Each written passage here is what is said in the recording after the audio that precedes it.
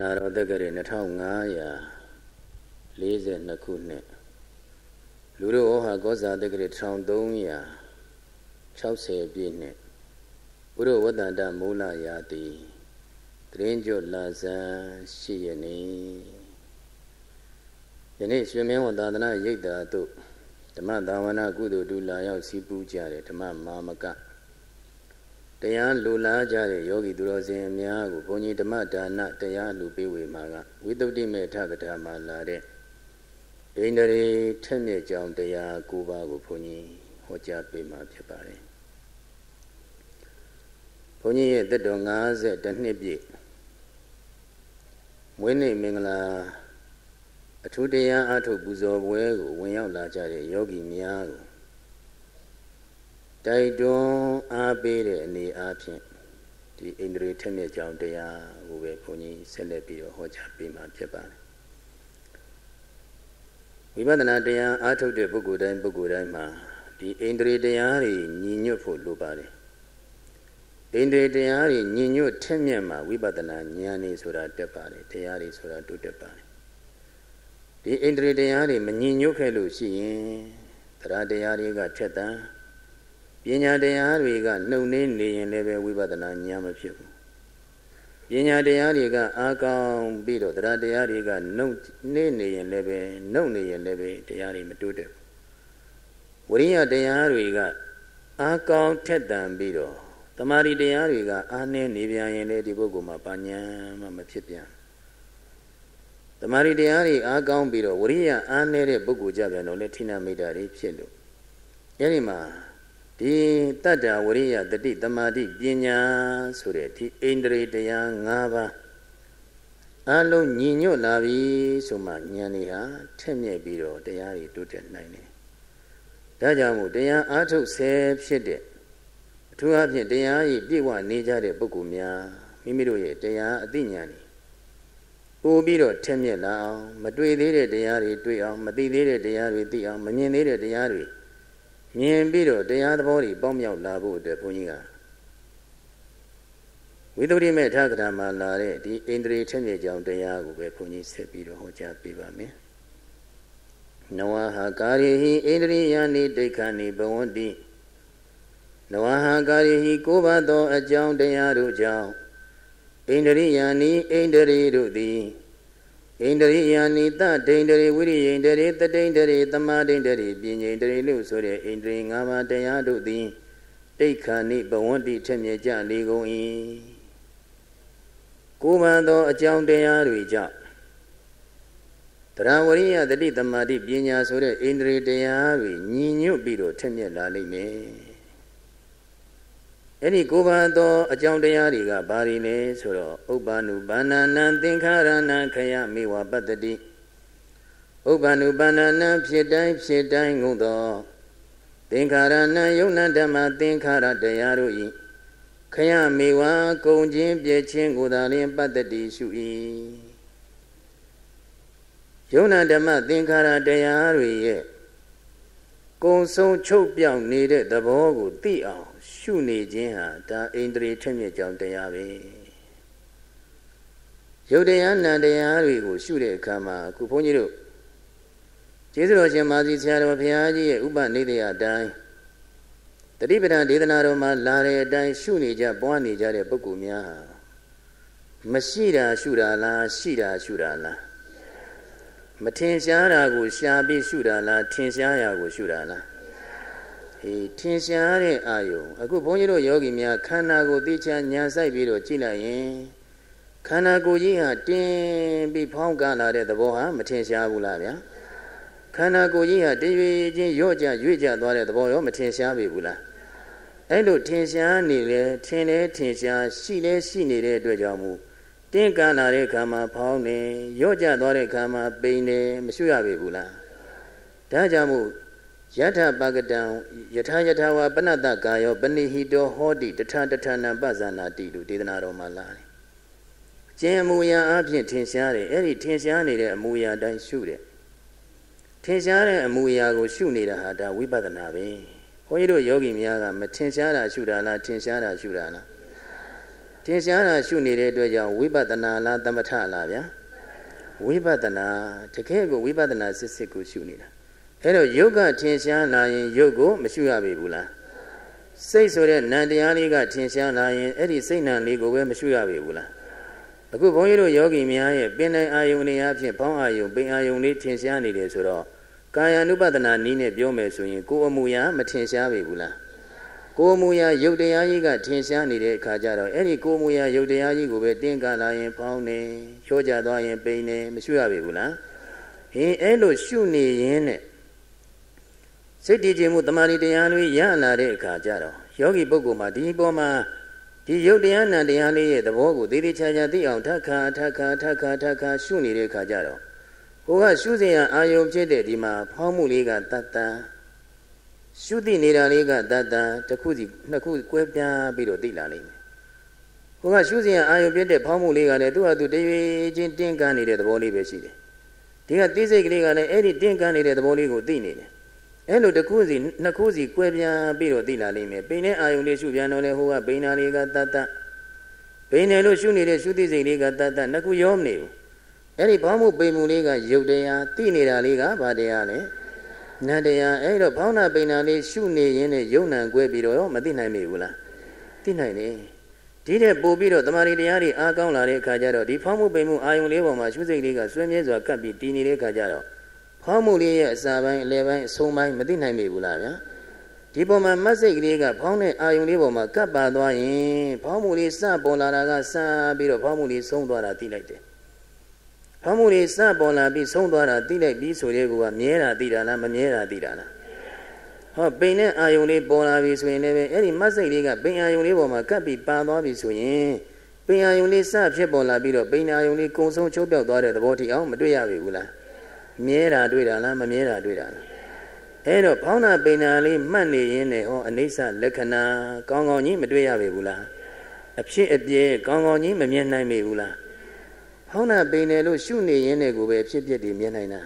ဒီတဲ့ပို့ပြီးတော့တမာရီအားကြီးကောင်းလာတဲ့အခါကျတော့အဖြစ်သဘောမထင်ရှားဘူးဘာမထင်ရှားတာလဲ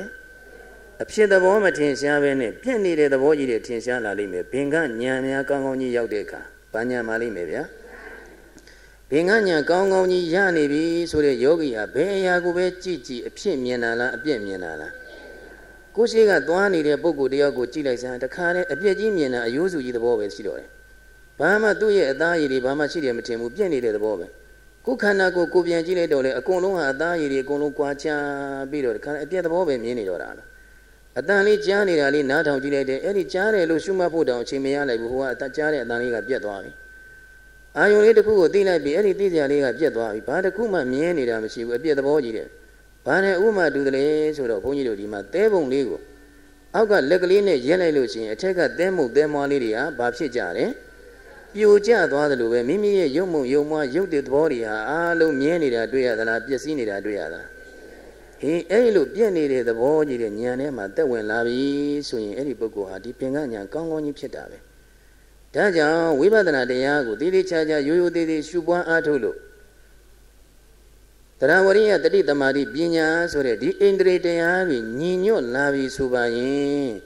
ယုံနာတရားတွေရဲ့အပြည့်သဘောတွေကောင်းကောင်းကြီးမတွေ့နိုင်ပြီဘူးလားဗျာကောင်းကောင်းကြီးကိုတွေ့လာနိုင်တယ်ဒါကြောင့်ဖြစ်တန်းယုံနာချုပ်ပြက်ဟာဧကံရှုရမည်တဲ့ယုံနာတရားတွေရဲ့ကုံသွားတဲ့သဘောဆုံးသွားတဲ့သဘောပြက်သွားတဲ့သဘောချုပ်သွားတဲ့သဘော အဲ့ဒီသဘောလေးကိုမြင်အောင်ရှုနေပြီဆိုရင်မိမိရဲ့ဣန္ဒြေတရားတွေဟာညီညွတ်လာပြီထက်မြက်လာပြီဒီဣန္ဒြေတရားတွေညီညွတ်ထက်မြက်လာတာနဲ့အမျှဝိမိတို့ဝိပဿနာဉာဏ်တွေကရောတုံးသွားမလားထက်လာမလားဟောဉာဏ်တွေကထက်မြက်လာတာနဲ့အမျှယုတ်တရားနံတရားဖြစ်တဲ့ပြည့်တရားတွေကိုသိတဲ့ဟောတရားတွေရောမတွတ်တက်ပြီဘူးလားဗျာတွတ်တက်လာတယ်တကယ်ကိုတဘာဝလက္ခဏာလေးတွေရဲ့မမြဲပုံလေးတွေကိုကောင်းကောင်းရှင်းရှင်းဉာဏ်နဲ့ဓာတ်ထိအနေအချင်းလာပြီးတော့တွေ့ရမယ် ဒါကြောင့်ဥပ္ပန္နုပန္နနာသင်္ခါရနာခယမေဝပတ္တိဥပ္ပန္နုပန္နနာဖြစ်တိုင်းဖြစ်တိုင်းကုန်သောသင်္ခါရနာယုံနာဓမ္မသင်္ခါရတရားတို့ဤခယမေဝကုံချင်းပြည့်ချင်းကိုသာလျင်ပတ္တိရှု၏ယုတ်တရားနာတရားတွေရဲ့ကုံဆုံးချုပ်ပြောက်သွားတဲ့သဘောကိုသိအောင်မြင်အောင်ရှုနေပြီဆိုရင်အဲ့ဒီပုဂ္ဂိုလ်ရဲ့တရားဝရိယတတိသမารီပညာဣန္ဒြေ၅ပါးတရားတွေညင်ညိုထက်မြက်လို့ ဝိပဿနာဉာဏ်နေတိုးတက်ပြီးတော့တရားအသိဉာဏ်ဓုတွေရနိုင်တယ်ဒါနံပါတ်1အိန္ဒြေထက်မြက်ကြောင့်တရားဒါမနေ့ကဘုန်းကြီးဟောခဲ့ပြီဒီနေ့ဘုန်းကြီးတို့ယောဂီများနာရမယ့်တရားကဒုတိယအနေအဖြင့်တတ္ထာသတက္ကိသကိရိယာယတံပါတိတိတတ္ထာသယုံနာဓမ္မသင်္ခါရတရားတို့ဤကုံဆုံးချုပ်ပြောက်သွားတဲ့သဘောကိုသိအောင်ရှုရ၌တက္ကိသကိရိယာယရိုးရိုးသေးသေးရှုမှတ်ပွားများအထုတ်ခြင်းဖြင့်လည်းပဲ တံပါတိတိဝိပဿနာဉာဏ်ဤထက်မြက်ခါပြည့်စည်ပြည့်စုံစေနိုင်ပါပေကုန်၏ဘုန်းကြီးတို့ဒီမှာယုံနာတရားတွေရဲ့ကုံဆုံးချုပ်ပြောက်သွားတဲ့သဘောသိအောင်ရှုတဲ့ယောဂီပုဂ္ဂိုလ်ဟာ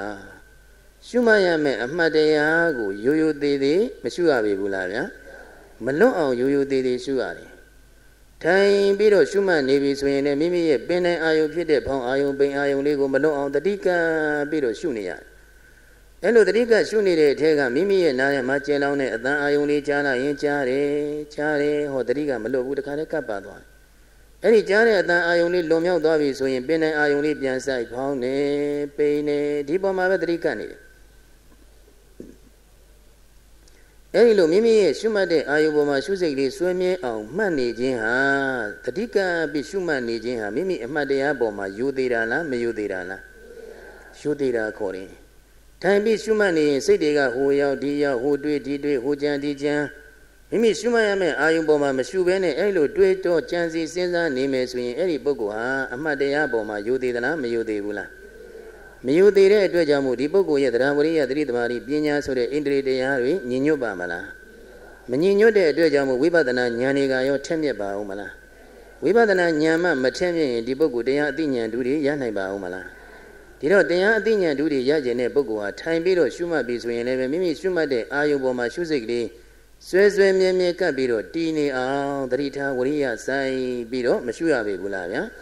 အဲ့လိုထိုင်ပြီးတော့ရှုနေရကနေပြီးတော့ထိုင်ဣရိယာပုဂ္ဂကနေမိမိကရက်ချင်လာပြီဆိုရင်အဲ့ဒီမှာစိတ်ရက်ချင်တဲ့စိတ်ကလေးကိုရောမရှုရပေဘူးလား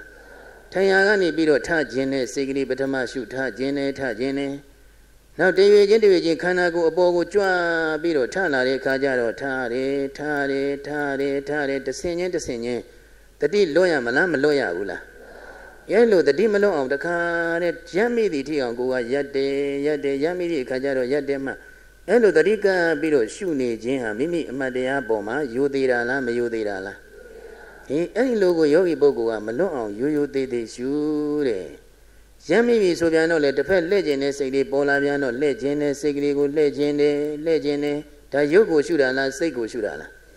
အေးရုပ်ကိုရှုတာမဟုတ်ဘူးဒါစိတ်ဆိုတဲ့နံတရားလေးကိုရှုနေတာလှည့်ခြင်းနဲ့စိတ်နံတရားလေး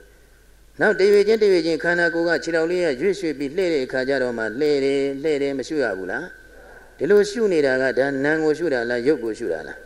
ရုပ်ကိုရှုနေတာတရွေချင်းတရွေချင်းလှည့်နေတဲ့ဒီမှာရုပ်ခန္ဓာကိုယ်ကြီးကိုရှုနေ သွားမဲ့ပဲမျက်နှာမူမိတဲ့အခါရက်တယ်ရက်တယ်ရှုတယ်ပြီးပြီဆိုရင်မျက်နှာလေးဖွင့်ပြီးတော့ဒီမှာကြွားတယ်လှမ်းတယ်ချတယ်ကြွားတယ်လှမ်းတယ်ချတယ်အဲ့လိုယောဂီပုဂ္ဂိုလ်ကမလွတ်အောင်တတိကံပြီးတော့ရှုနေတာအဲ့လိုရိုးရိုးသေးသေးရှုနေမှဘုန်းကြီးတို့ယောဂီများတသက်ကိစ္စကိရိယာယာဆိုတဲ့တရားနဲ့ညီညွတ်တယ်အမှတ်တွေလွတ်နေလို့ရှိရင်အဲ့ဒီသက်ကိစ္စကိရိယာယာဖြစ်ပါမလားဗျာ မဖြစ်ဘူးဈဉ္ညာလျှောက်ပြီးတော့မှတ်တဲ့နေရာမှာဘုန်းကြီးတို့ယောဂီများတစ်ချက်မှတ်ရှိတယ်နှစ်ချက်မှတ်ရှိတယ်သုံးချက်မှတ်ရှိတယ်ညာလန်းနဲ့ပင်လန်းတယ်လို့မှတ်တာရောမရှိပေဘူးလားဒါခြေတလန်းကိုဘယ်နှချက်မှတ်သွားတာလဲတစ်ချက်မှတ်ကလေးနဲ့မှတ်သွားတာဟောဒီတစ်ချက်မှတ်ကိုနိုင်နှင်းလာတဲ့ယောဂီပုဂ္ဂိုလ်များကြတော့နှစ်ချက်မှကြွားတယ်ခြားတယ်ကြွားတယ်ခြားတယ်မမှတ်ရပြီဘူးလားဟင်အဲ့လိုရှုမှတ်တာလေးကဒါနှစ်ချက်မှတ်ဘုန်းကြီးတို့ယောဂီများ အဲ့ဒီနှစ်ချက်မှတ်ကလေးနိုင်နှင်းလာပြီဆိုရင်ကြွားတယ်လှမ်းတယ်ခြားတယ်လို့သုံးချက်မှတ်ရောမမှတ်ရပြီဘူးလားအဲ့လိုသုံးချက်မှတ်နေတာလေဒါရက်နေတာလားသွားနေတာလားစာပေနဲ့ပြောရလို့ရှိရင်ကိစ္စတော်ဝါကိစ္စမိတိပဇာနာတိတွားနေတဲ့အမူအရာလေးကိုရှုနေတာဘယ်မူအရာကိုရှုနေတာလဲအေးကြွားတယ်လမ်းတယ်ချတယ်လို့ရှုနေတာတွားနေတဲ့အမူအရာလေးကိုရှုနေတာအဲ့တော့ယောဂီပုဂ္ဂိုလ်ရှုတဲ့အခါမှာတည်တည်ချာချာရှုပါ ထိုင်ပြီးတော့ရှုတဲ့အခါမှာလည်းဖောင်းအာယုံပင်အာယုံလေးရှုပြီဆိုရင်ဝမ်းပိုက်ဆိုတဲ့တဏှာကြီးအာယုံမပြူဘဲနဲ့တောင့်တင်းလာတဲ့သဘောလေးကိုသိအောင်ရှုပါတောင့်တင်းလာတဲ့သဘောလေးပေါ်မှာစိတ်ကလေးညှို့ထားပြီးတော့ရှုပေးပိန်နေဆိုရင်လည်းပဲတည်ရချင်းတည်ရချင်းရော့ကြရွေ့ကြသွားတဲ့သဘောလေးပေါ်မှာစိတ်လေးညှို့ပြီးတော့ရှုပေးအဲ့ဒီအတိုင်းပဲဈဉ္ညာလျှောက်တဲ့ခါမှာလဲခြေထောက်လေးကြွလာပြီဆိုရင်ခြေထောက်ကြီးကိုအာယုံမပြုနဲ့တရွေချင်းဖနှောင်းကစပြီးတော့အပေါ်ကိုကြွပြီးတော့မြင့်ပန်းလာတဲ့သဘောလေးကြည့် တရွေပြီးတရွေတရွေပြီးတရွေရွေ့ပန်းလာတယ်တခါတရံတင်းပြီးတော့ပန်းလာတယ်တခါတရံကျပေါ့ပြီးတော့ပန်းလာတဲ့သဘောလေးကနောက်ရှေ့ကိုလှမ်းလိုက်ပြီဆိုတဲ့အခါကျတော့လေအစင်းစင်းလှမ်းမှုလေးရဲ့အစင်းစင်းတခါတည်းတရွေပြီးတရွေတရွေပြီးတရွေအစင်းစင်းလှမ်းနေချမ်းလိုက်တဲ့အခါကျတော့လည်းပဲချမ်းမှုလေးရဲ့အစင်းစင်းတရွေပြီးတရွေတရွေပြီးတရွေရွေ့ရွေ့ရွေ့ရွေ့သွားတဲ့သဘောလေးတွေမတွေ့ရပြီဘူးလားအဲ့လိုသိနေတာအမှန်တည်လားအမှားတည်လား တကယ်လို့ခြေတော်ကြီးကြွနေတာခြေတော်ကြီးလှမ်းနေတာခြေတော်ကြီးချနေတာသိတာကအမှန်သိဟုတ်ပါမလားပညာကိုသိနေတာဘာကိုသိတာလဲဟေးပညာသိတာပရမတ်မဟုတ်ဘူးပရမတ်မြင်မှတရားမြင်တာခေါ်တယ်တကယ်သဘောလေးတရွေချင်းတရွေချင်းရွေ့လာတဲ့သဘောလေးအစင်းစင်းပေါ့ကြွမှုလေးရဲ့အစင်းစင်းလှမ်းမှုလေးရဲ့အစင်းစင်းချမှုလေးရဲ့အစင်းစင်းကြွတာလေးကလည်းတစ်ချက်တည်းကြွလာတာမဟုတ်ဘူးလှမ်းတာလေးကလည်းတစ်ချက်တည်းလှမ်းလိုက်တာမဟုတ်ဘူးချတာလေးကလည်းတစ်ချက်တည်းချတာမဟုတ်ဘူး အဲ့လိုအစင်းစင်းကြွပြီးအစင်းစင်းလှမ်းအစင်းစင်းချနေတဲ့သဘောလေးကိုသေးသေးချာချာဘုန်းကြီးတို့ယောဂီများဉာဏ်ထဲမှာမြင်သွားပြီဆိုရင်အမှန်မြင်သွားပြီအမှန်မြင်သွားပြီဆိုရင်ဘုန်းကြီးတို့ယောဂီများတရားမြင်တာလားမတရားမြင်တာလားဗျာဘာဖြစ်လို့တရားမြင်တယ်လို့ပြောရတာလဲဆိုတော့သဘောကိုသိနေလို့ဘာကိုသိနေလို့ပါလိမ့်မယ်တကယ်ကိုတပံဝါလေးကိုမြင်နေတာတွေ့တရွေချင်းတရွေရွေ့နေတဲ့သဘော တရွေချင်းတရွေရှေ့ကိုအစင်းစင်းရွေ့ပန်လာတဲ့သဘောအစင်းစင်းတခါတည်းတောင့်တင်းသွားတဲ့သဘောအစင်းစင်းကျသွားတဲ့သဘောအဲ့ဒီသဘောလေးကိုသေချာမြင်နေပြီဆိုရင်အမှန်ကိုမြင်နေပြီအဲ့ဒီတိုင်းမြင်အောင်သေချာရှုနေပြီဆိုရင်အဲ့ဒါမိမိရှုမှတ်တဲ့တရားပေါ်မှာယူသေးတာတက်ကိစ္စတတိမလွတ်အောင်ရှုနေတာကိုရိုးရိုးသေးသေးရှုတယ်လို့ခေါ်တယ်အဲ့လိုဈဉ္ညာမှာလည်းပဲရိုးရိုးသေးသေးထိုင်ပြီးတော့မှတ်တဲ့ခံမှာလည်းရိုးရိုးသေးသေးနောက်ရက်တဲ့ခံမှာလည်းရိုးရိုးသေးသေးမလွတ်အောင်ရှုတယ် လျှောင်းနဲ့အိတ်တဲ့ခံမှာလည်းပဲမိမိတို့ဒီမှာတတိမလွတ်အောင်မရှုရပေဘူးလားဗျာအဲ့လိုတတိကံပြီးရှုနေတာကိုဒါသက်ကိစ္စကိရိယာယလို့ခေါ်တယ်ယူသေးတာလားမယူသေးတာလားမိမိရှုမှတ်ရမယ့်တတိတရားလေးမလွတ်အောင်ရှုနေတာကိုဒါယူသေးတာအဲ့လိုယူယူသေးသေးရှုနေရင်တရားဝရိယတတိတမာရိပညာဣန္ဒြေ၅ပါးတရားတွေညီညွတ်လာမလားကွဲပြားသွားမလားဗျာ အဲ့ဒီဣန္ဒြေ၅ပါးတွေညီညွတ်လာတာနဲ့အမျှဝိပဿနာဉာဏ်တွေကရောထက်မလားတုံးမလားဉာဏ်ဤထက်မြက်လာတာနဲ့အမျှရုပ်သဘောနာမ်သဘောအဖြစ်ပြက်သဘောတွေသိတဲ့ဝိပဿနာဉာဏ်ဤအာကောင်းထက်တန်စွာရပြီဆိုရင်ဘုန်းကြီးတို့ပါရမီတို့ရှိမယ်ဆိုရင်ဒီဉာဏ်နဲ့ရင့်ကျက်ပြည့်စုံတဲ့မဉဏ်ပူဉဏ်နိဗ္ဗာန်ထိအောင်မရနိုင်ပြီဘူးလားကဲဒီတော့ဘာနဲ့ဥမာပေးထားတယ်လေဆိုတော့အထာကတာမှာစီခွက်ကိုကင်လာတဲ့ပုဂ္ဂိုလ်နဲ့ဥမာပေးထားတယ် စီခွက်ကိုကင်ပြီးတော့စီခွက်ထဲမှာစီအပြည့်ထက်အဲ့လိုအပြည့်ထက်ပြီးတော့အဲ့ဒီစီခွက်ကိုကင်ပြီးတော့သွားတဲ့ပုဂ္ဂိုလ်ဟာမဖိတ်မစင်အောင်သွားရမယ်ဆိုရင်ရိုးရိုးသေးသေးမကန်ရပြီဘူးလားဗျာသွားတယ်လာတဲ့ခါမှာဟိုကြည့်ဒီကြည့်တောင်ကြည့်မြောက်ကြည့်ကြည့်သွားလို့ရပါမလားဟောနောက်ပြီးတော့ပါဇက်ကရောစကားတွေဟိုပြောဒီပြောပြောသွားလို့ရပါမလားတကယ်လို့ဘေးလူဘေးပုဂ္ဂိုလ်နဲ့မိမိကစကားတွေပြောသွားမယ်ဆိုရင်လက်ထဲမှာကင်လာတဲ့စီကွက်ကစီတွေမဖိတ်နိုင်မေဘူးလား ဖိတ်နိုင်တယ်ဖိတ်စင်သွားနိုင်တယ်ဟဲမိမိကတောင်တောင်မဲမောက်တွေကြည့်သွားမယ်ဆိုရင်လည်းပဲဒီမှာခလုတ်တိုက်ပါတိုက်တိုက်ပြီးတော့ဟောမိမိကင်လာတဲ့စီကွက်ခွက်တဲကစီတွေမဖိတ်မစင်နိုင်မေဘူးလားညာစင်သွားနိုင်တယ်အဲ့တော့လိုရာခရီးကိုဒီစီကွက်အပြည့်အဝရောက်မသွားနိုင်ဘူးခုတရားအထုတ်တဲ့ယောဂီပုဂ္ဂိုလ်ဟာလည်းပဲမိမိကစကားတွေပြောသွားမယ်။သုံးဖို့စကားတွေပြောနေမယ်မျက်စိကတောင်တောင်မြောက်မြောက်ရှောက်ကြည့်နေမယ်ဆိုရင်မိမိရှုမှတ်ရမယ်။အာယုံပေါ်မှာရှုစိတ်လေးဆွဲဆွဲမြဲမြဲကပ်ပြီးတော့တီးပါအောင်မလားဗျာ။ မတည်ဘူးဒါကြောင့်မို့စီခွက်ကင်သွားတဲ့ပုဂ္ဂိုလ်ဟာမိမိရဲ့ကင်ထားတဲ့ခွက်တဲကစီကိုမစိတ်မဖိတ်မစင်အောင်တယူတသိမကန်ရပြီဘူးလား။အဲလိုတယူတသိကန်ရတယ်လို့တရားရှုပွားအားထုတ်တဲ့ယောဂီတကယ်ကိုဆင်းရဲခတ်သိငြိမ့်တဲ့နိဗ္ဗာန်မျက်မှောက်ပြုလို့တဲ့ယောဂီဟာလည်းပဲမိမိနိဗ္ဗာန်ကိုတကယ်မျက်မှောက်ပြုလို့တယ်ဆိုရင်မိမိအားထုတ်နေတဲ့အမှတ်တရားတွေတတိတရားတွေလွတ်ရမလားမလွတ်ရဘူးလားအဲ့ဒီတတိမလွတ်အောင်ရိုးရိုးသေးသေးမရှုရပေဘူးလား သွားတဲ့လာတဲ့ခါမှာအမှတ်တတိလွတ်ရမလားမလွတ်ရဘူးလားထိုင်နေထားတဲ့ခါဒီမှာရောလွတ်ရမလားစားတဲ့တောက်တဲ့နေရာမှာရောလွတ်ရမလားအိယာဝင်အိယာဓာတ်တွေမှာရောလွတ်ရမလားရေကျိုးရေတော့မျက်နှာတက်မှစပြီးတော့တတိလွတ်ရအောင်မလားအဲ့လိုမလွတ်အောင်ကိုကတယုတသေးရှုနေပြီဆိုရင်အဲ့ဒါတက်ကိစ္စရိုးရိုးသေးသေးရှုတာအဲ့လိုရိုးရိုးသေးသေးရှုနေပြီဆိုရင်တရားဝရိယတတိတမာတိပညာဣန္ဒြေတရားတွေဟာညင်ညွတ်ပြီးတော့ ဉာဏ်နေဘာလုပ်သွားမလဲထက်မြက်လာပြီးတော့ဟောတရားသူတရားမြတ်တွေမရနိုင်မေဘူးလားဗျာရနိုင်လေကိတ္တလေးဆိုကြည့်လိုက်အောင်စီခွဲကံညာယောက်ျားပုံသွင်းယုသေးတမှုမှတ်ရှုပါလျင်ဣန္ဒြေငါးချက်တိုးတက်ဆုံးလင်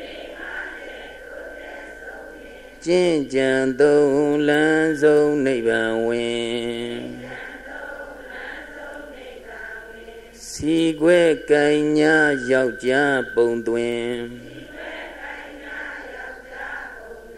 ယိုသေးတမှုမှတ်ရှုပါလျင်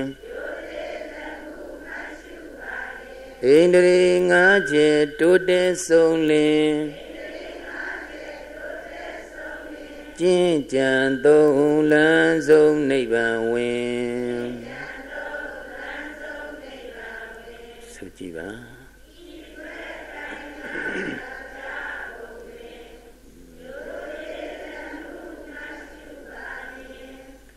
ဣန္ဒြေငါးချက်တိုးတက်ဆုံးလင်ကျင့်ကြံသုံးလန်းဆုံးနိဗ္ဗာန်ဝင်စီ ခွဲကံညာယောက်ျားပုံသွင်း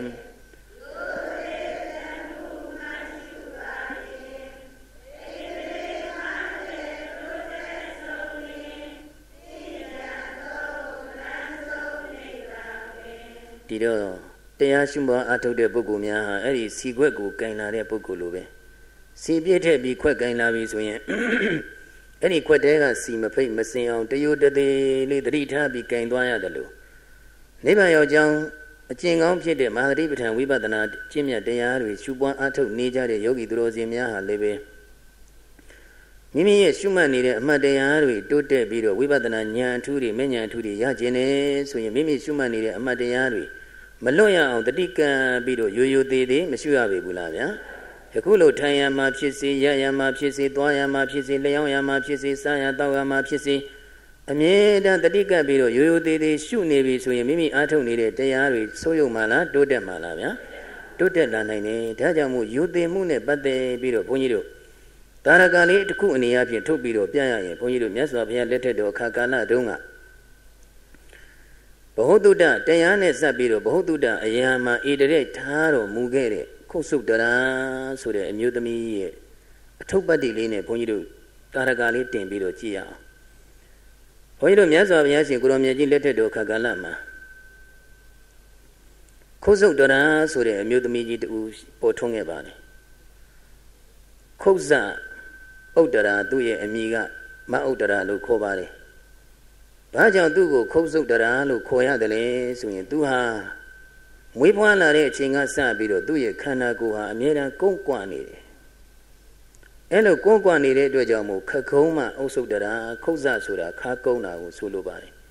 ဒါကြောင့်မို့မဥဒ္ဒရာဆိုတာတွေကများတဲ့အတွက်ကြောင့်မို့သူ့ကိုခုတ်ဆုပ်တရာလို့ဒီလိုခေါ်ကြအဲ့ဒီခုတ်ဆုပ်တရာမှာဘုန်းကြီးတို့မြတ်စွာဘုရားလက်ထက်မှာကောင်းတဲ့ဂုံနဲ့ကြိုစောတာကနှစ်မျိုးရှိတယ် မကောင်းတဲ့ဂုံနဲ့ကြိုစောတာနှစ်မျိုးရှိတယ်ဒါလေးမှတ်လိုက်ကြကောင်းတဲ့ဂုံနဲ့ကြိုစောတာနှစ်မျိုးမကောင်းတဲ့ဂုံနဲ့ကြိုစောတာနှစ်မျိုးဒီတော့ကောင်းတဲ့ဂုံနဲ့ကြိုစောတာကဘာဂုံနေလဲဆိုတော့ဘုရားရှင်ကိုရောင်မြတ်ကြီးဟောကြားတဲ့တရားကိုတစ်ချိန်တစ်ခါမြနာကြားလိုက်ရယုံနဲ့သောတာပန်အရိယာဖြစ်သွားတယ်မယေတိရစ္ဆာန်ပြိတ္တာအတုရကေဆိုတဲ့အပယ်၄ပါးကလွတ်မြောက်တဲ့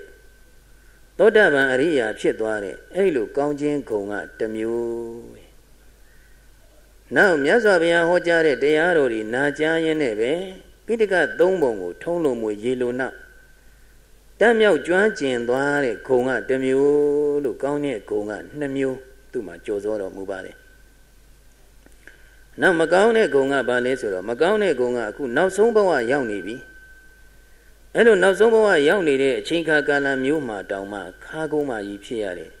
မကောင်းတဲ့ဂုံကတစ်မျိုးခကုန်းမာကြီးခုတ်ဆုတ်တရာဆိုတာနောက်တစ်ခုကမကောင်းတဲ့ဂုံကဘာလဲဆိုရင်ဒီနောက်ဆုံးဘဝမှာပဲသူဟာသူတစ်ပါးရဲ့အစေခံကြုံမဖြစ်ရခြင်းကတစ်မျိုးတဲ့မကောင်းတဲ့ဂုံကလည်းပဲဘယ်နှမျိုးလဲကောင်းတဲ့ဂုံကနှစ်မျိုးအဲ့ဒီ၄မျိုးနဲ့ကြိုစိုးတော်မူပါတယ် အခါတစ်ပါးမှာမြတ်စွာဘုရားရှင်ကိုရောမြတ်ကြီးကိုယဟန်တော်များကဒီခိုးစုတ်တရာနဲ့ဆက်ပြီးတော့လျှောက်ထားကြတယ်။ဘဘာကြောင့်ယခုလိုမြတ်စွာဘုရားဟောကြားတဲ့တရားလေးကိုတစ်ချိန်တစ်ခါနာရယုံလေးနဲ့သောတာပန်အရိယာဖြစ်ရပါသလဲဖေယဘာကြောင့်မြတ်စွာဘုရားဟောတဲ့တရားနာကြားရင်းနဲ့ပဲသူဟာပိဋကသုံးပုံကိုအာလုံးတက်မြောက်ပြီးတော့သွားရပါသလဲဖေယဘာကြောင့်နောက်ဆုံးဘဝရောက်နေတဲ့ပုဂ္ဂိုလ်ဟာခိုးစုပ်အဲခကုံးမကြီးဖြစ်ပြီးတော့နေရပါသလဲဖေယ ဘာကြောင့်သူတော်ရဲ့အစီကံကြုံမာကြီးဖြစ်ပြီးတော့နေရပါသလဲဖေယလို့အဲ့ဒီလိုဘုရားရှင်ကိုရောင်မြတ်ကြီးကိုလျှောက်ထားတဲ့အခါကလည်းကြတော့အဲ့ဒီမှာမြတ်စွာဘုရားရှင်ကိုရောင်မြတ်ကြီးကချစ်သားတို့ဒီခိုးစုပ်တရံအလောင်းဟာကသဗ္ဗမြတ်စွာဘုရားနဲ့အခုငါဘုရားရဲ့ကြားမှာဘုရားနှစ်စုတို့ရဲ့ကြားမှာတဲ့ဗာရာဏသီပြည်ဗြဟ္မဏမင်းကြီးထိနှံအုပ်ချုပ်ပြီးတော့မင်းလုံနေစဉ်ချင်းခါကလ အဲ့ဒီဗြဟ္မဏမင်းရဲ့မောင်းမမိတ်တာအချွေရန်ဖြစ်ခဲ့တယ်တဲ့ဒီခိုးစုပ်တရံအဲ့ဒီအချွေရန်ဖြစ်ခဲ့တဲ့ခါကလကြတော့အဲ့ဒီနန်းတော်ကိုဗြဟ္မဏမင်းကြီးရဲ့နန်းတော်ကိုပြစ္ဆေကဗုဒ္ဓအရှင်မြတ်ရှစ်ပန်းဆွမ်းခံကြတော်မူတယ်ကန္ဓမာလတောင်ကနေပြီးတော့ပြစ္ဆေကဗုဒ္ဓအရှင်မြတ်ရှစ်ပန်းဟာမင်းကြီးရဲ့နန်းတော်မှာနေ့စဉ်နေ့တိုင်းဆွမ်းခံကြတော်မူပါလေ အဲ့လိုဆွမ်းခံကြတော်မူတဲ့အချိန်ခါကာလမှာဒီခိုးစုပ်တရာတို့မောင်မမိတ်တံများကတခါတည်းရွှေကိုကြီးတွေနဲ့ဆွမ်းနေခဏနိုးဆွမ်းနေအပြည့်ထက်အဲ့လိုအပြည့်ထက်ပြီးတော့ဂရိပံတပည့်ကြီးတွေအားလုံးကိုယ်ပေါ်မှာခြုံပြီးတော့တခါလေပြစ္ဆေကဗုဒ္ဓအရှင်မြတ်၈ပါးကိုဆွမ်းများလောင်းလူကြရတယ်အဲ့လိုဆွမ်းလောင်းလူကြတော့အဲ့ဒီပြစ္ဆေကဗုဒ္ဓအရှင်မြတ်၈ပါးထဲမှာခါကုန်းနေတဲ့အရှင်မြတ်တစ်ပါးပါတယ် အဲ့ဒီခါကုန်းနေတဲ့အရှင်မြတ်တစ်ပါးပါတဲ့ခါကျတော့ဆွမ်းများလောင်းပြီးပြီပြစ္ဆေကဗုဒ္ဓအရှင်မြတ်တွေကြွသွားပြီဆိုတဲ့ခါကျတော့ခိုးစုတ်တရံအလောင်းဖြစ်တဲ့အဲ့ဒီမောင်မမိတ်တံဖြစ်တဲ့ပုဂ္ဂိုလ်ကဂရိပါတပည့်ကြီးကိုခြုံသင်္ကန်းကြီးယုံငယ်တကဲ့သို့ပေါ့အဲ့ဒီဂရိပါတပည့်ကြီးကိုခြုံပြီးတော့စွမ်းလောင်းနဲ့စွမ်းတဲ့လောင်းနဲ့ရွှေပလားကြီးရွှေခွက်ကြီးကိုတခါတည်းတပိတ်လိုပိုက် တပိတ်လိုဖိုက်ပြီးတော့ခါကုန်းလီဟန်ပြပြီးတော့အဲ့ဒီမှာခါကုန်းကြီးလိုလှုပ်ပြီးသွားဘေးကပုဂ္ဂိုလ်ကြီးကကြီးကြသဘောကျကြပေါ့လေအဲ့ဒီလိုယဟန္တာပုဂ္ဂိုလ်ပြည့်စေကဗုဒ္ဓအရှင်မြတ်တပါးကိုတွားပြီးတော့ပြောင်းလောင်တယောမိခဲ့တယ်အဲ့လိုတယောမိခဲ့တဲ့အတွက်ကြောင့်မို့ဘဝများစွာခုလိုခါကုန်းမကြီးဖြစ်ရတာတဲ့ခါကုန်းမကြီးဖြစ်ရတာဒါဒါလေးတစ်ချက်လည်းမှတ်ထားလိုက်ဘုန်းကြီးတို့ယောဂီများ မိမိတို့ရဲ့အသက်သိက္ခာဂုံဝါကြီးတဲ့ပုဂ္ဂိုလ်များကိုပျော်စီပြည့်စီကလက်စီဆိုတဲ့အနေအားဖြင့်သွားပြီးတော့မပြောင်းရဘူးတကယ်လို့ပြောင်းပြီဆိုရင်မိမိပြုတ်ထားတဲ့မကောင်းမှုအကုသိုလ်ကံတွေကလိုက်ပြီးတော့အကျိုးမပေးပေဘူးလားဗျာအေးဝန်းလိုက်တတ်တယ်ဆိုတာဒါပဲပြည့်စေကဗုဒ္ဓအရှင်မြတ်ကြီးကိုတခါလေခါကုန်းလီဟန်ပြပြီးတော့တငယ်ချင်းတွေပြောအောင်ဆိုပြီးတော့ရည်စရာမောစရာအနေအချင်းပြောင်းလောင်ပြီးတော့ပြက်ချော်ပြီးတော့ ပြုလုပ်မိတာလေးကအခုကြည်စံဘဝများစွာခကုံးမှကြီးမဖြစ်ရပေဘူးလားဗျာအေးဒါမိမိတဲ့အသက်တိတ်ကဂုံဝါကြီးတဲ့ပုဂ္ဂိုလ်များကိုပြောင်းလောင်မိလို့ဒါမကောင်းတဲ့ဂုံနောက်တခါဒီပြည့်စေကဗုဒ္ဓအရှင်မြတ်တွေကိုတဏီရောခါကာလကြတော့နှုတ်ကနာစွမ်းနေလောင်းလူရတယ်အဲ့လိုကဏ္ဍနိုးစွမ်းနေလောင်းလူတဲ့အချိန်ကာလကြတော့ဘုန်းကြီးတို့မင်းရဲ့အလူဆိုတာကတပိတ်အပြည့်လောင်းလူရတယ် အချို့ချို့ဆိုရင်တပိတ်ကိုပြည့်ရှံသွားအောင်လောင်းလူတာတွေလည်းရှိပါတယ်အခုဒီခေတ်မှာလည်းပဲရှိပါတယ်ဘာပဲလောင်းလောင်းဆွန်းလောင်းရင်လည်းတခါလေပြည့်ရှံသွားအောင်ပကံနဲ့လောင်းရင်လည်းပကံကိုပြည့်ရှံနေအောင်ခုခတ်ပြီးတော့မှလောင်းတာရှိတယ်ဆွမ်းရင်ခွက်လောင်းပြီဆိုရင်လည်းဆွမ်းရင်ခွက်ကိုနည်းနည်းလေးမထည့်ဘဲနဲ့ပြည့်ရှံသွားအောင်လောင်းလူတာတွေရှိတယ်အကျိုးပေးတဲ့အခါမှာလည်းပဲအဲ့လိုကိုပြည့်ရှံနေအောင်အကျိုးပေးအောင်ဆိုပြီးတော့လောင်းလူကြတာတွေရှိပါတယ်အဲ့ဒီမှာဘယင်ရှင်ဘယင်ရဲ့အလူဖြစ်တဲ့အတွက်ကြောင့်မို့အဲ့ဒီခဏနိုးစွမ်းပူပူလောလောတွေ တပိတ်အပြည့်လောင်းလူလိုက်တဲ့အခါကျတော့ပြည့်စေကဗုဒ္ဓအရှင်မြတ်၈ပါးလက်ဘဝါးတွေပူကြတယ်ခဏနိုးစွမ်းအပူတွေကိုခံယူခဲ့ရတော့လက်ဘဝါးပူတဲ့အခါကျတော့ညာလက်ပေါ်ကနေပြီးတော့ဘယ်ဘက်လက်ပေါ်ပြောင်းပြီးတော့ရွှေ့တင်လိုက်ဘယ်ဘက်လက်ပေါ်ကနေညာဘက်လက်ပေါ်ပြောင်းပြီးတော့ရွှေ့တင်လိုက်ဆိုတော့အဲ့လိုပြောင်းရွှေ့ပြီးတော့ကင်တွယ်နေရခြင်းဟာလက်ပူလောင်တဲ့ဒုက္ခခံစားရလို့လားမခံစားရလို့လားပူလောင်နေတဲ့ဆင်းရဲကြုံတွေ့နေတယ် အဲ့လိုဆင်းရဲကြုံတွေ့နေတာကိုအခုဒီမှာခိုးစုပ်တရာရဲ့အလောင်းဖြစ်တဲ့အဲ့ဒီအမျိုးသမီးကမြင်တဲ့အခါကျတော့ဩပြည့်စေကဗုဒ္ဓအရှင်မြတ်ရှင်ပါတော်တော်ဒုက္ခဆင်းရဲရောက်နေကြပါပေါ့လားအဲ့တော့ဖြင့်ငါမှပန်လာတဲ့ဆင်းဆွဲလက်ကောက်ဒီလက်ကောက်ရှစ်ကွင်းကိုဖြုတ်ပြီးတော့ငါတပိတ်ချီအဖြစ်နဲ့ဆင်းရဲကလွန်မြောက်အောင်လှူမယ်ဆိုပြီးတော့ညာရှည်သွားပြုတ်ပြီးတော့လှူလိုက်တာဘာရှည်သွားပြုတ်တာလဲ ဟဟိုပုဂ္ဂိုလ်ကြီးပြည့်စေကဗုဒ္ဓအရှင်မြတ်ဒီဆင်းရဲဒုက္ခရောက်နေပြီအပူလောင်နေပြီအဲ့ဒီအပူလောင်နေတာကိုဒီအပူတွေကလွတ်မြောက်အောင်ဆင်းရဲတွေလွတ်မြောက်ပြီးချမ်းသာသွားအောင်ဉာဏ်ရှိသွားပြုတ်ပြီးတော့ဟောသူ့ရဲ့ပန်လာတဲ့လက်ကောက်ကိုဖြုတ်ပြီးတော့တပည့်တော်ရဲ့ဒီစင်စွယ်လက်ကောက်ကိုတပိတ်ချီအဖြစ်နဲ့အလူခံတော်မူပါဗျာဆိုပြီးတော့တကွင်းစီလှူလိုက်တယ်အဲ့ဒီတော့အဲ့ဒီလက်ကောက်ကလေးတွေကိုတပိတ်ချီအဖြစ်နဲ့တပိတ်အောက်ကခံလိုက်ရတဲ့အခါကျတော့လက်ဖွားနဲ့တပိတ်နဲ့ထိသေးရလားဗျာ အဲ့လိုမထိတဲ့အခါကျတော့ပြည့်စေကဗုဒ္ဓအရှင်မြတ်ရှစ်ပန်းဟာအဲ့ဒီပူလောင်ခြင်းဆင်းရဲကမလွန်မြောက်ပေဘူးလားအဲ့လိုဉာဏ်ရှိသွားပြုပြီးတော့လှူဒန်းတဲ့အတွက်ကြောင့်အခုငါဘုရားမြတ်စွာဘုရားရှင်ငါဘုရားဟောကြားတဲ့တရားတွေနာကြားလိုက်ရယုံနဲ့ပဲပိဋကသုံးပုံကိုထုံးလုံးမွေရေလိုနောက်တက်မြောက်ပြီးတော့သွားတာတဲ့ဉာဏ်ထက်မြက်တာဒုက္ခရောက်နေတဲ့ပုဂ္ဂိုလ်တယောက်ကိုတွေ့ပြီးဒီဒုက္ခကဲတင်ခြင်းနဲ့ အဲ့ဒီဒုက္ခကဲတင်ခြင်းနဲ့ဆိုရင်အဲ့ဒီကိုယ့်ရဲ့ဉာဏ်လေးကိုရှည်သွားပြုပြီးတော့ဒီပုဂ္ဂိုလ်ကိုဒုက္ခကလွတ်မြောက်အောင်မိမိကကဲတင်လိုက်ပြီဆိုရင်အဲ့ဒီပုဂ္ဂိုလ်ရဲ့ဉာဏ်တွေဟာဘဝတိုင်းဘဝတိုင်းတုံးမလားထက်မြက်မလားအေးအခုဒီမှာခုတ်စုတ်တရာရဲ့အလောင်းရဲ့လှူဒန်းပုံလေးကိုကြည့်ပြီးအတူယူလိုက်ပါနောက်နံပါတ်3အချက်ကဘာလဲဆိုတော့သူဟာမြတ်စွာဘုရားရှင်ကိုရောမြတ်ကြီးဟောကြားတဲ့တရားတပွဲတည်းပဲ တစ်ချိန်တစ်ခါတည်းနားလဲရယူနေပဲငရေတိရစ္ဆာန်ပြိတ္တာအတုရကေဆိုတဲ့အပယ်လေးပါးကလွတ်မြောက်တဲ့သောတပတ္တိမဉ္ဇဉ်ဖူဉ္ဇဉ်မရပေဘူးလားဗျာသောတပန်အရိယာကြီးဖြစ်တယ်ဗျာအဲ့တော့သောတပန်အရိယာကြီးဖြစ်သွားတယ်ဒီတော့သောတပန်အရိယာဖြစ်သွားတာဘာကြောင့်လဲဆိုတော့ဘုရားရှင်ကိုရောမြတ်ကြီးကချက်သားတို့တဲ့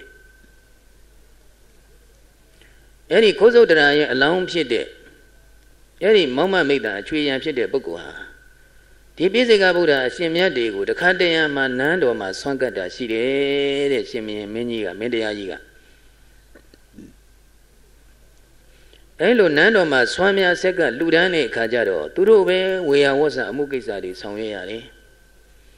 ဆွမ်းဝေယဝဆတွေဆောင်ရွက်တဲ့အခါကလည်းကြတော့မတတ်မရမဟုတ်ဘူးတကယ်ကိုတတ်တတ်ရှင်းရှင်းတတ်တတ်ရရရိုးရိုးသေးသေး မယုံမသိဒီလောက်တောင်ကောင်းတာတွေပြင်ကျွေးထားတာပဲစားခြင်းလဲစားမစားခြင်းလဲနေဆိုတာမျိုးဒီလိုမဟုတ်ဘူးတကယ်ကိုရိုးရိုးသေးသေးစက္ကန့်ပြီးတော့လှူဒန်းခဲ့တယ်ရိုးရိုးသေးသေးပြုစုခဲ့တယ်ရိုးရိုးသေးသေးလှုပ်ကြွေးခဲ့တယ်အဲ့လိုရိုးရိုးသေးသေးလှုပ်ကြွေးပြုစုခဲ့တဲ့အဲ့ဒီကုသိုလ်တွေနောက်ပြီးတော့မိမိဟာရိုးရိုးသေးသေးပြုစုလှုပ်ကြွေးတဲ့အလေးအကျင့်ရှိတဲ့ပုဂ္ဂိုလ်ဟာဘာပဲလှုပ်လို့ပြည့်စလက်ခပြီးပြီးရောဆိုတာမျိုးပြုပါမလားဗျာ မပြုတ်လို့တော့ဘူးအမြဲတမ်းတယုတသေးပဲတရားနာတော့လည်းပဲတယုတသေးပဲဟိုကြည့်ဒီကြည့်တောင်ကြည့်မြောက်ကြည့်ရှေ့ကြည့်နောက်ကြည့်ဒီလိုကြည့်မနေဘူးတရားပေါ်မှာအာယုဆိုင်ပြီးတော့ရိုးရိုးသေးသေးနာကြတဲ့အလေးအကျင့်နေမပါပေဘူးလားဗျာအလေးအကျင့်နေပါလာတယ်တရားအထုတ်တဲ့ခါမှာလည်းဒီတိုင်းပဲဘုန်းကြီးတို့ယောဂီများတရားအထုတ်လာပြီဆိုရင်ရောက်လာတဲ့ကူကယောဂီကိုအကဲခတ်လိုက်လို့သိတယ်ပထမဦးဆုံးအလုတ်ပေးတရား ညနေပိုင်းနာကြားတဲ့အချိန်အဲ့ဒီအလုတ်ပေးတရားနာကြားတဲ့အချိန်ကစပြီးတော့ကြည်လိုက်ကဲခတ်ကြည့်လိုက်အဲ့ဒီတကယ်ကိုရိုးရိုးသေးသေးပြုတ်တတ်တဲ့အလေးအကျင့်ရှိခဲ့တဲ့ပုဂ္ဂိုလ်ဟာတရားနာတော့လေရိုးရိုးသေးသေးစူးစူးဆိုင်ဆိုင်ကိုနာတာပဲတရားနာတော့လေရိုးရိုးသေးသေးစူးစူးဆိုင်ဆိုင်မှတ်မှတ်သားသားကိုနာတယ်အဲ့ဒီကတရားကနာပြီးလို့တရားဆုံးပြီဆိုပြီးတော့ဟော စံကြောင်းတော်ဘောကဆင်းလာပြီဆိုတဲ့ကူကတကယ်တယုတတိအမှတ်တတိပါလာတယ်အဲ့လိုရိုးရိုးသေးသေးရှုမှတ်တဲ့အမှတ်တရားမှလည်းရိုးရိုးသေးသေးရှုမှတ်လာတယ်အဲအချို့ပုဂ္ဂိုလ်များကြတော့အဲ့လိုမဟုတ်နာစင်မှလည်းပဲမယုံမသေးပဲဟိုကြည့်ဒီကြည့်တောင်ကြည့်မြောက်ကြည့်တရားနဲ့စိတ်မဝင်စားအဲ့လိုတရားနဲ့စိတ်မဝင်စားတဲ့ပုဂ္ဂိုလ်ကြတော့ဟောတရားအားထုတ်တော့ရောတရားနဲ့စိတ်ဝင်စားသလားဆိုတော့မဝင်စားဘူးဟိုကြည့်ဒီကြည့်တောင်ကြီးမြောက်ကြီးသွားတော့လေတောင်တောင်မြောက်မြောက်ရှောက်ကြည့်ပြီးအမှတ်တရမပါဘူးထိုင်တော့လည်းအမှတ်တရမပါဘူး ရက်တော့လည်းအမှတ်မပါဘူးစားတဲ့နေရာကြည့်လိုက်လည်းဘာမှမမပါဘူးအဲအဲ့လိုကိုမယုံမသေးရှုမှတ်နေပြီဆိုရင်အဲ့ဒီပုဂ္ဂိုလ်တရားရပါဦးမလားဗျာမရနိုင်တော့ဘူးအဲ့တော့ဒီမှာခိုးစုတ်တရားအလောင်းကအဲ့ဒီလိုပြည့်စေကဗုဒ္ဓအရှင်မြတ်၈ပါးကိုဆွမ်းလို့ကျွေးတဲ့အခါကာလမှာရိုးရိုးသေးသေးပြည့်စုလှုပ်ကျွေးခဲ့တဲ့အလေးအကျင့်တွေပြုခဲ့တယ်တဲ့ဒါကြောင့်အခုငါဘုရားတရားနာတဲ့အခါမှာလည်းပဲရိုးရိုးသေးသေးစူးစူးဆိုင်ဆိုင်နာကြတဲ့အတွက်ကြောင့်အခုငါဘုရားတရား ဆုံးတည်တဲ့တပြိုင်တည်းသဘောပေါက်နားလေပြီးတော့သောတပတ္တိမဉ္ဇဉ်ပူညာဆက်ရောက်ပြီးတော့သောတပန်အရိယာကြီးဖြစ်သွားတယ်တဲ့အပေလေးပါးလွတ်တဲ့သောတာပန်ကြီးဖြစ်သွားတယ်လို့မြတ်စွာဘုရားရှင်ကိုရောင်မြတ်ကြီးကဟောကြားတယ်ဒါ၃ချက်ပြီးသွားပြီနော်ပထမတစ်ချက်ကဘုန်းကြီးတို့ယောဂီများပြည့်စေကဗုဒ္ဓအရှင်မြတ်ကိုမိမိကပျော်စီပြည့်စီကလစ်စီဆိုတဲ့အနေအားဖြင့်ပြောင်းလောင်ပြီးတော့ပြုတဲ့အတွက်ကြောင့်အခု ဘဝမှာထီအောင်ခကုံးမကြီးမဖြစ်ရပြီဘူးလားမိမိပြုတဲ့ကံမိမိကိုလိုက်ကြိုးပေးနေတာဒါတစ်ချက်ဒါဘုန်းကြီးတို့ယောဂီများလိုက်နိုင်ရမှာကဩအသက်သိက္ခာဂုံဝါကြီးတဲ့ပုဂ္ဂိုလ်တွေကိုရေစင်ရမောစင်ရအနေနဲ့တောင်မှပြောင်းလောင်ပြည့်ချော်မှုမပြုကြနဲ့ဒါလေးမှတ်သားသွားပေါ့နောက်တကမိမိရဲ့ရှင်းမောက်မှာဆင်းရဲဒုက္ခရောက်နေတဲ့ပုဂ္ဂိုလ်တဝိတယောက်တွေ့ပြီဆိုရင်အဲ့ဒီဒုက္ခကလွန်မြောက်အောင်ဉာဏ်ရှိသွားပြုပြီးတော့အကူအညီပေးလိုက်မယ်ဆိုရင် ဖြစ်လျာဘဝတန်ត្រာမှာဉာဏ်နေတုံးမလားထက်မြက်မလားဗျာထက်မြက်မယ်ဒါလေးတစ်ချက်နောက်နံပါတ်3ကမိမိတို့ဘာပဲပြုလုပ်ပြုလုပ်ဒါနာကောင်းမှုပဲပြုပြုသီလပဲစောင့်စောင့်ဘာဝနာပဲပွားပွားမိမိပြုလုပ်သမျှအားလုံးကုသိုလ်ကောင်းမှုဥဒမျှတွေကိုမိမိကရိုးရိုးသေးသေးပြုမယ်ဆိုရင်အထူးအားဖြင့်အခုလိုဝိပဿနာဘာဝနာတရားတွေပွားများအားထုတ်တဲ့အခါမှာမိမိအမှတ်တရားတွေမလွတ်အောင်ထိုင်ရမှလည်းမလွတ်အောင်ရရမှလည်းမလွတ်အောင်သွားရမှလည်းမလွတ်အောင် စားရတောက်ရမှလည်းပဲမလွတ်အောင်တတိကံပြီးတော့မပြတ်ရှုမှတ်ပြီးတော့ပွားများနေမယ်အားထုတ်နေမယ်ဆိုရင်အဲ့ဒီပုဂ္ဂိုလ်တရားနေနေရမှာလားမြန်မြန်ရမှာလားမြန်မြန်ကြီးရသွားနိုင်တယ်အဲ့လိုရိုးရိုးသေးသေးပြုတဲ့အလေးအကျင့်လေးတွေအားလုံးပန်းလာပြီဆိုရင်တရားမြန်မြန်ကြီးရနိုင်တယ်တဲ့နောက်တစ်ခါနံပါတ်၄ကဘာလဲဆိုတော့ကြုံမဖြစ်ရတာ ကြုံမဖြစ်ရတာတော့ဘာအကြောင်းကြောင့်ကြုံမဖြစ်ရပါသလဲဘုရားလို့မြတ်စွာဘုရားလျှောက်တဲ့အခါကျတော့ဘုရားရှင်ကိုရောင်မြတ်ကြီးကဒီခိုးစုတ်တရာအလောင်းဟာကတ္တဗမြတ်စွာဘုရားလက်ထက်ကတထေးသမီးဖြစ်ခဲ့တယ်တဲ့ဘယ်လိုသမီးပါလိမ့်မယ်တထေးသမီးဖြစ်ခဲ့တယ်ဒီတည်းဟာလည်းပဲဘာသာတရားတွေကိုအင်မတန်မှကိုင်းဆိုင်တဲ့ပုဂ္ဂိုလ်ဖြစ်တယ်ဒါနကောင်းမှုသီလကောင်းမှုဘာဝနာကောင်းမှုအားလုံးပြုစုပွားများတဲ့ပုဂ္ဂိုလ်ဖြစ်တယ် အားလုံးယဟန်တန်ဃာတော်တွေနဲ့လည်းအကျွမ်းဝင်တယ်အားလုံးဘိက္ခုနီမတွေနဲ့လည်းအကျွမ်းဝင်တယ်အဲ့လိုအကျွမ်းဝင်တဲ့အခါကာလကြတော့သမီးကလည်းပဲအားလုံးသောပုဂ္ဂိုလ်တွေနဲ့အကျွမ်းဝင်နေတယ်ပေါ့တဏီသောခါကာလမှာဒီခိုးစုတ်တရာရဲ့အလောင်းဖြစ်တဲ့တထေသမီးလေးကရေမိုးချိုးပြီးတော့အလှပြင်မလို့မိမိရဲ့ခန်းထဲမှာအလှပြင်မှန်တင်ကုန်ရှိမှအလှပြင်ဆင်နေပါတယ်အဲ့လိုပြင်ဆင်နေတဲ့အချိန်မှာဘုန်းကြီးတို့ဘိက္ခုနီမှာတပါ ကိလေသာအာသောကုန်ကံယဟန္တာဖြစ်နေပါပြီအဲ့ဒီယဟန္တာဘိက္ခုနီမှာတပါအိမ်ကိုကြွလာအိမ်ကိုကြွလာပြီးအိမ်မော်ကိုအပေါ်ဓာတ်ကိုတက်တဲ့အခါကာလကျတော့ तू ကအောက်ထပ် तू အလှပြင်နေတဲ့အခန်းကနေလှမ်းမြင်လိုက်တယ်မြင်လိုက်တဲ့အခါကျတော့အရှင်မကြီးလှမ်းနှုတ်ဆက်လိုက်တယ်အဲ့လိုနှုတ်ဆက်ပြီးတော့အရှင်မကြီးတပည့်တော်ရဲ့အလှပြင်ပစ္စည်းလေးအပေါ်ဓာတ်အခန်းထဲမှာဘယ်နေရာမှာရှိတယ်အဲ့ဒါလေးယူပေးစမ်းမှာခဏလောက်တစ်စိမ့်လောက်ခိုင်းလိုက်တယ် ဒီမှာဘိက္ခုနီအရှင်မြတ်ကိုမိမိရဲ့အခိုင်းစီလိုသဘောထားပြီးတော့တခါတည်းလှမ်းပြီးတော့ခိုင်းလိုက်တာအဲ့လိုလှမ်းခိုင်းလိုက်တဲ့အခါကျတော့ဘိက္ခုနီမှာစဉ်းစားတယ်ရဟန္တာဘိက္ခုနီမှာတကယ်လို့များငါသူ့ကိုပြုတ်လို့မပေးလို့ရှိရင်သူခိုင်းတာလုံမပေးရင်သူငါ့ပေါ်မှာအမျက်ဒေါသထွက်မယ်အမျက်ဒေါသထွက်လို့ရှိရင်သူအပင်ငရဲကြောက်ရောက်တော့မှာပဲ တကယ်လို့သူခိုင်းတဲ့အတိုင်းငါပြုတ်လို့ပေးလိုက်လို့ရှိရင်သူတော့ဖြင့်ဖြစ်လျာဘဝမှာကျွံဘဝမျိုးမှာပဲရောက်ရတော့မှာပဲအောက်တန်းနောက်တန်းကြတော့မှာပဲဒီတော့အပင်ငရဲနဲ့စမ်းမယ်ဆိုရင်ကျွံဘဝကမှနည်းနည်းတော်သေးတယ်ဆိုပြီးတော့အဲ့ဒီမှာဘိက္ခုနီမကြီးကသူခိုင်းလိုက်တဲ့အတိုင်းသူ့ရဲ့အခန်းထဲမှာသွားယူပြီးတော့အလှပြင်ပစ္စည်းတွေယူပေးလိုက်တယ်အဲဒီလိုမိမိရဲ့အသက်သိက္ခာဂုံဝါကြီးမြတ်တဲ့ပုဂ္ဂိုလ်ကိုမိမိရဲ့အခိုင်းစီလိုသဘောထားပြီးတော့ စေခိုင်းလိုက်တဲ့အတွက်ကြောင့်ဖြစ်နေရဘဝတိုင်းဘဝ900တိုင်တိုင်လို့ဆိုပါလေကျွံမဘဝကြီးတွေဖြစ်ရတယ်ဘာဘဝဖြစ်ရပါလိမ့်မယ်ဒါမိမိရဲ့အသက်သိက္ခာဂုံဝါကြီးတဲ့ပုဂ္ဂိုလ်အခိုင်းစီလိုသဘောထားပြီးတော့ခိုင်းလို့လားမခိုင်းလို့လားဗျာယခုခေတ်မှာလည်းပဲဘုန်းကြီးတို့ယဟန်တန်ဃာများနဲ့အကျွမ်းဝင်းတဲ့ပုဂ္ဂိုလ်တွေမရှိကြဘူးလားဗျာဟောသီလရှင်ဆရာကြီးဆရာလေးတွေနဲ့အကျွမ်းဝင်းတဲ့ပုဂ္ဂိုလ်တွေမရှိကြပြီဘူးလားအခုလိုရှိနေကြတဲ့အခါကာလမျိုးမှာ ယဟန်တန်ဃာတော်များပဲဖြစ်စေသီလရှင်ဆရာကြီးဆရာလေးများပဲဖြစ်စေဟဲဒီကနေ့ကြောင်းကိုလာမှနော်စားစရာတွေလှုပ်ထားပြင်ထားဆင်ထားလို့များမခိုင်းမိကြလေနဲ့ဆရာလေးနော်ဒီကနေ့လာမှတပည့်တို့အတွက်အားလုံးချက်ထားအရန်သင်းဖြစ်ပါစေလို့များမခိုင်းမိစေနဲ့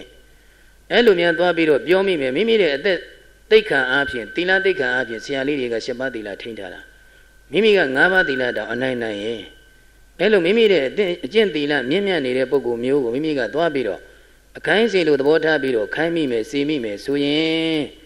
အဲ့ဒီပုဂ္ဂိုလ်မျိုးမှလည်းပဲအဲဒီလိုနှိမ့်ကြတဲ့ဘဝမျိုးတွေမရောက်နိုင်ပြီဘူးလားဗျာ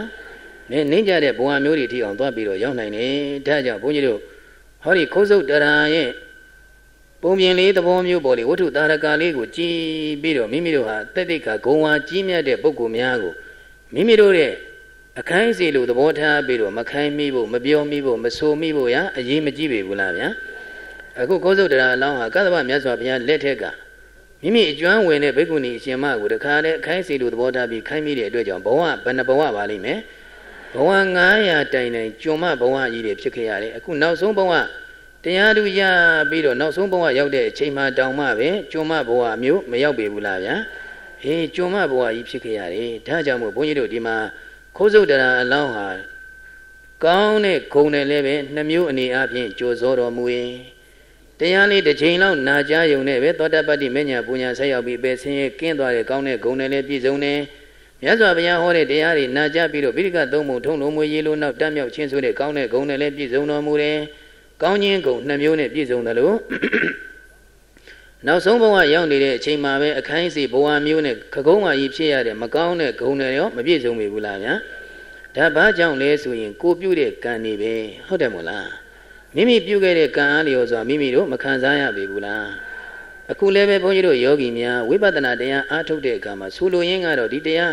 ဒီဝိတုတာရကလေးထုတ်ပြရင်းကတော့ရိုးရိုးသေးသေးရှုမှတ်ရင်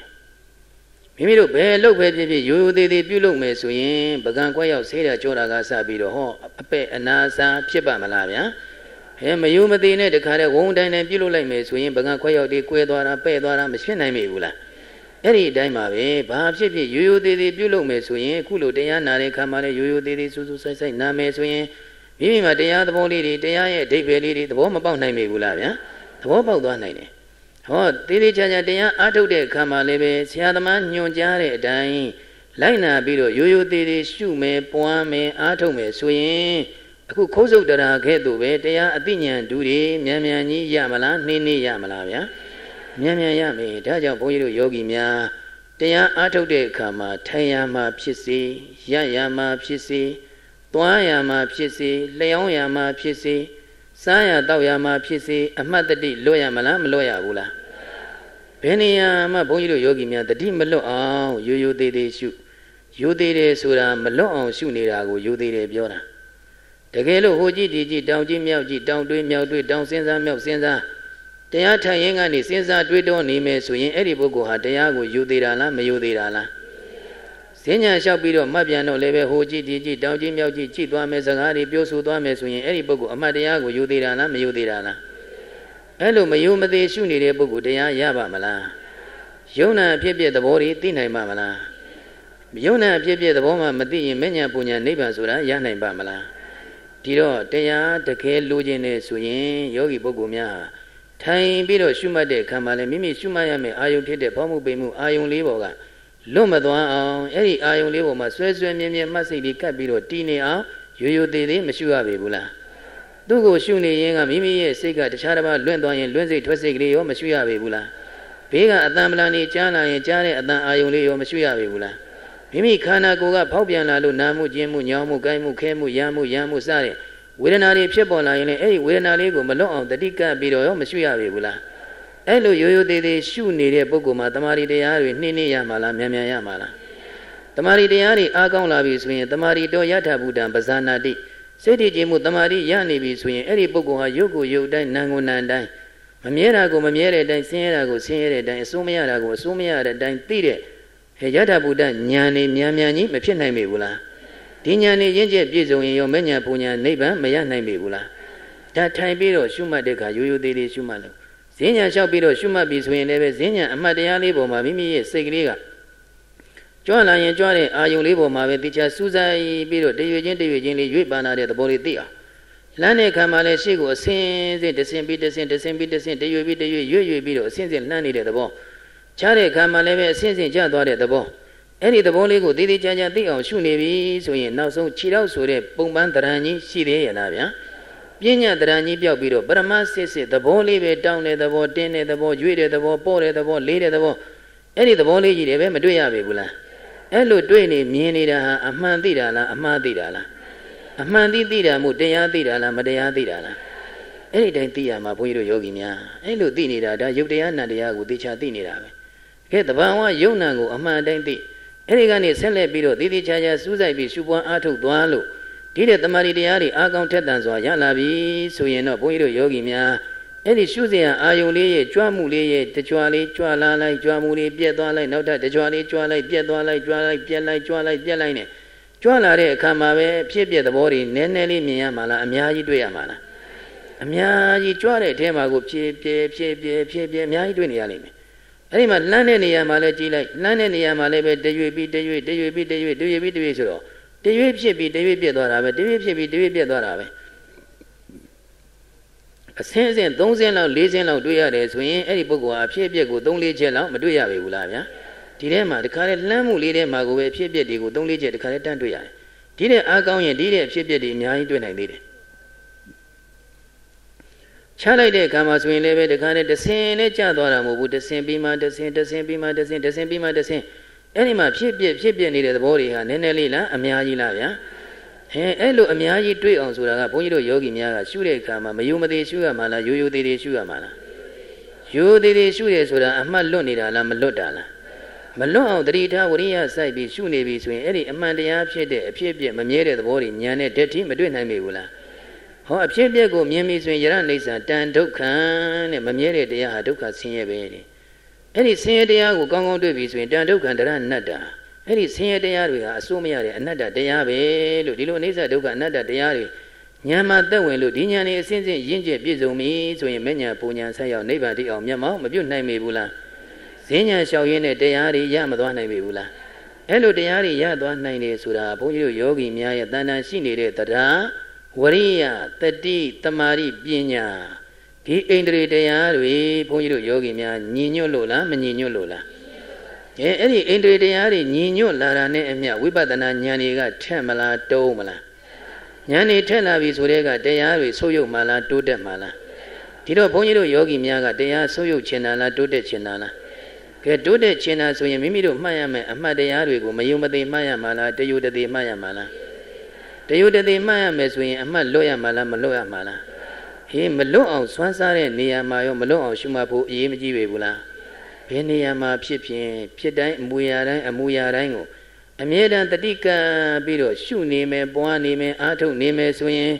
မြင်ရကလည်းဖြစ်ပျက်တွေတွေ့တာပဲကြားရကလည်းဖြစ်ပျက်တွေတွေ့တာပဲနားရစားရတွေ့ထိရကရောဖြစ်ပျက်တွေမတွေ့နိုင်မေဘူးလားအကုန်လုံးဘုန်းကြီးတို့ယောဂီများယုတ်တရားနံတရားတွေဟာမြဲတဲ့သဘောလားမမြဲတဲ့သဘောလားဟေးမမြဲတဲ့သဘောအပြည့်သဘောကြီးတဲ့ကိုနောက်ထပ်ညံတဲ့ဓာတ်တိမတွေ့နိုင်မိဘူးလားဗျာအဲ့လိုတွေ့လာပြီဆိုရင်ဘုန်းကြီးတို့ယောဂီများရဲ့ တရားတွေဟာဆုပ်ယုပ်သွားတာလားတိုးတက်လာတာလားဒီတော့အဲ့လိုတိုးတက်ဖို့အတွက်ယောဂီပုဂ္ဂိုလ်ဟာတရားရှုတဲ့အခါမှာမယုံမသိလားယိုယိုသေးသေးလားအမှတ်တမဲ့လားအမှတ်နဲ့လားအမှတ်ကလေးနဲ့ထိုင်လဲအမှတ်ကလေးနဲ့ရက်လဲအမှတ်ကလေးနဲ့သွားလဲအမှတ်ကလေးနဲ့စားလဲအမှတ်ကလေးနဲ့ရေတောက်တာရေချိုးတာကစပြီးရှုမှတ်မှုလွတ်ရမလားမလွတ်ရဘူးလားဟင်အဲ့လိုမိမိတို့ရိုးရိုးသေးသေးရှုပွားအားထုတ်သွားပြီဆိုရင်တရားဝရိယသတိသမารိပညာ ဣန္ဒြေတွေညီညွတ်ထက်မြက်လာတာနဲ့အမျှဝိပဿနာဉာဏ်တွေတက်ပြီးတော့ဟောတရားအသိဉာဏ်တူတွေမရနိုင်ပြီဘူးလားဗျာကဲဆိုကြည့်လိုက်ရှုမှန်မှုမှန်ယောသေးကကောင်းစွာပြုရမည်ရှုမှန်မှုမှယောသေးကကောင်းစွာပြုရမည်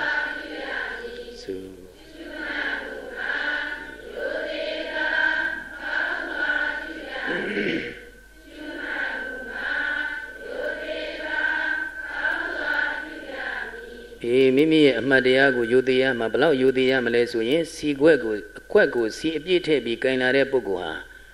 အဲ့ဒီခွက်တဲကစီတွေမဖိတ်မစင်အောင်တယူတသေးလေးဘယ်မှမကြည့်ဘူးစီခွက်ကလေးကိုပဲစူးစိုက်ကြည့်ပြီးတော့တခါတည်းဖြည်းဖြည်းလားမြန်မြန်လားဖြည်းဖြည်းလေးသွားရတယ်စကားရောပြောလို့ရပါဦးမလား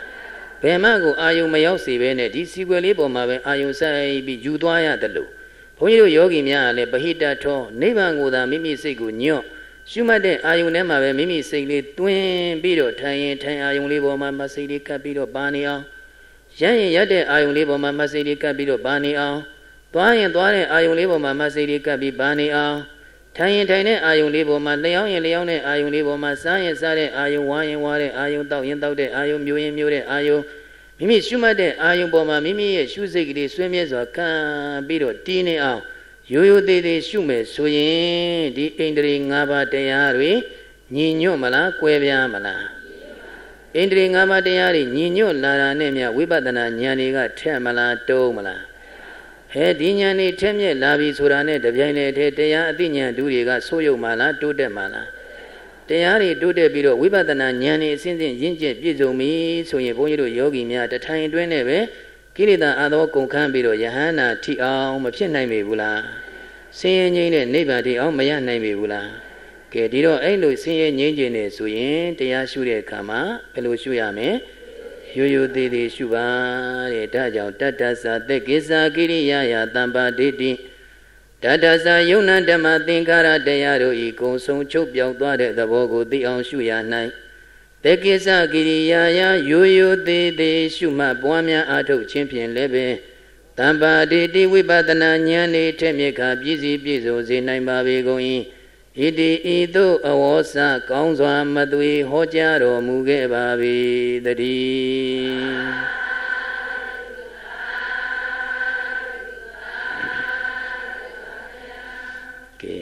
ဣမ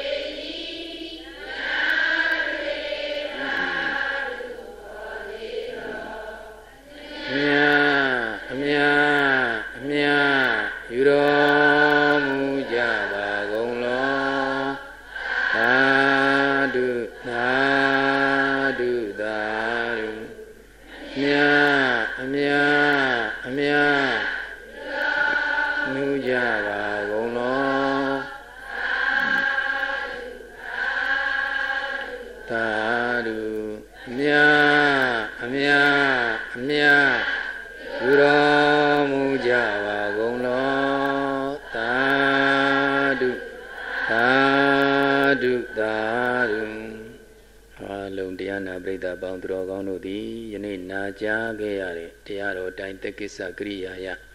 မိမိဆင်းရဲခတ်သိနိဗ္ဗာန်ရောက်ကြောင်းဖြစ်တဲ့အကျင့်တရားတွေကျင့်တဲ့အခါရှုမှတ်မှုအမှတ်တရားတွေမလွတ်အောင်ရိုးရိုးသေးသေးကျင့်ကြံပွားများအားထုတ်နိုင်ကြပြီလျင်ရွှေမင်းဝန်သာသနာရိပ်သာရဲ့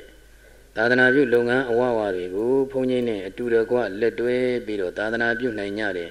အမျိုးကောင်းသားအမျိုးကောင်းသမီးများဖြစ်ကြပါစေ